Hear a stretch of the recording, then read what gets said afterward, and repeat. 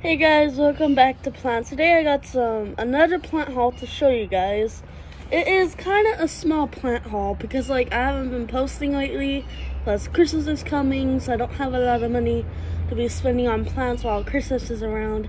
So that's why videos are coming out every other day because like last video I made was three days ago and now today is another video. So it's gonna be like every few days I'll be posting here and there, but please don't unsubscribe because I've been taking a little bit of time because you guys know it's the holiday season, so I've been just shopping for my family and all that. And yeah, but let's just start off with some plants. First off, I got some type of I don't know what this is, but it's really pretty.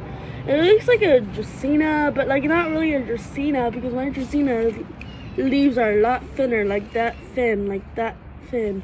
But like it looks very pretty and I love it and like I really like it. That's pretty much one of that. And then it was $7.99 at Rouse's. And then I got the Moonshine Sansevieria snake plant. I'm so happy. I think this is moonshine, but like it is moonshine. And they are kind of on the harder side of keep snake plants alive because like they always get brown edges. But like, hey, it's fine. It's a snake plant. So uh, this is a kind of more of a rare variety.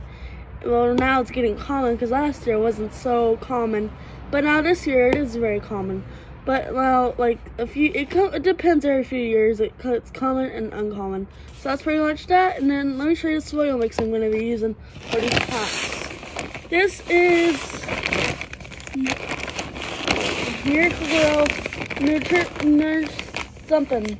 I don't know. I have a hard time reading, like I said, organic natural potting mix. And I'm going to be using this brand more often because I, I like organic stuff because I don't use any pesticides because I keep my butterflies, if you guys want to keep your butterflies alive, no pesticides. That's on, that's that. So no pesticides, please no pesticides. That this earth is going bad because like everyone's keep using pesticides every day and like we're not gonna have no butterflies or pollination or wasps or anything or any animals. Like butterflies depend on us because they're the food chain as well as um, bees and other stuff. So please do not use pesticides if you guys are out there. Do not use pesticides because that will kill the butterflies and most likely their habitat. So do not use that and like i'm so sad right now because i saw on facebook the other day that most of Alabama forest is getting cut down, so that's not gonna be fun.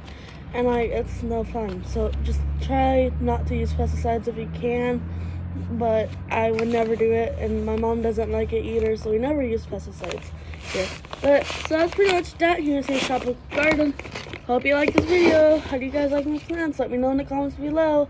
Like and subscribe and comment. Bye-bye. Hope you enjoyed this video.